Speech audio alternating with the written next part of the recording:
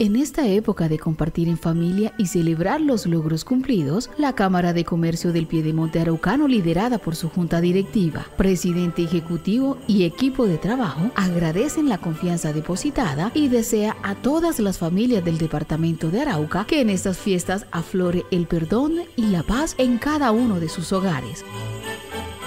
Esperamos el próximo año seguir prosperando juntos y continuar apoyando lo nuestro. Feliz Navidad y productivo Año Nuevo.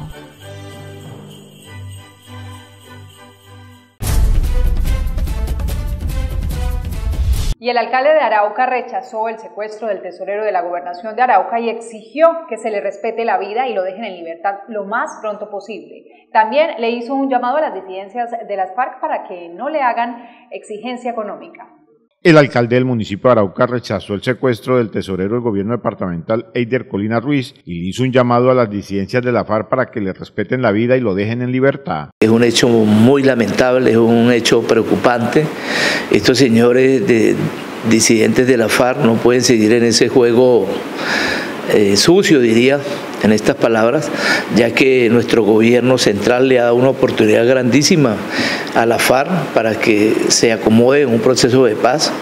y uno mira cómo gente al margen de la ley, disidentes de la FARC, eh, se toman por sorpresa a los ciudadanos de bien de nuestro municipio y del departamento. De verdad que un saludo lleno de nostalgia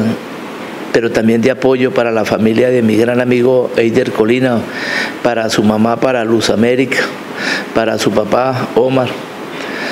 que sé que es una familia humilde de nuestro municipio de Arauca, que Eider Colina necesita que le respeten la vida, que Eider Colina es un hijo, es un esposo y un hermano y que necesita que se venga hacia nuestra ciudad capital. El alcalde de Arauca, Benjamín Socadagüí, le hizo un llamado a las disidencias de la FARC para que respeten a las personas del departamento de Arauca. Los señores disidentes de la FARC, lo único que me resta decirles es que respeten la libertad de las personas, que respeten sus patrimonios y sobre todo que respeten su vida. A los disidentes de la FARC hay que decirles que Arauca los rechaza y que Arauca lo que necesita es que ellos se sometan al proceso de paz que está dando nuestro presidente Duque. Este mensaje también va para los señores del ELN, hombre, que ya dejen de estar intimidando a nuestro departamento, a nuestro país, al municipio y que entren en esa tónica de acogerse a los procesos de paz que le está ofreciendo nuestro gobierno. Que dejemos que Arauca se una como tiene que ser, que ojalá pasemos unas navidades en paz y un próspero año nuevo sin la presión de estos dos grupos, de los señores de, del ELN y de los, de, los disidentes de la FARC. El burgomaestre de los araucanos le exigió a los disidentes de la FARC para que no le hagan exigencias económicas a esta familia araucana. Como araucano, como alcalde,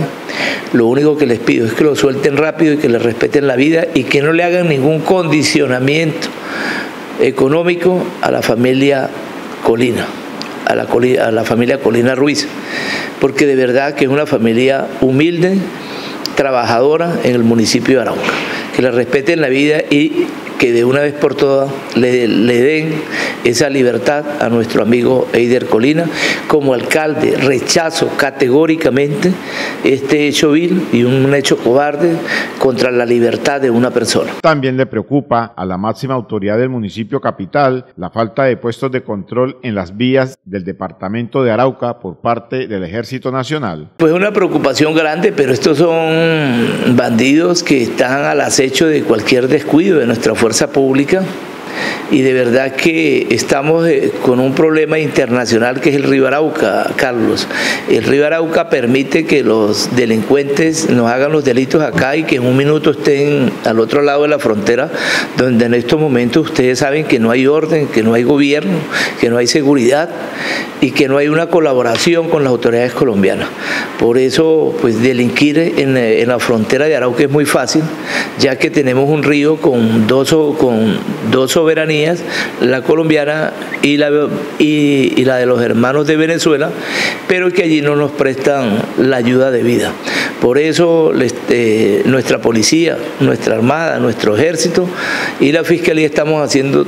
todo lo posible para ver si damos con el, con el paradero de estas personas pues, que cometieron este hecho tan aberrante como es, como es el secuestro del señor Colina. Los operativos en la zona de frontera continúan con el fin de ubicar a los captores del funcionario del gobierno departamental.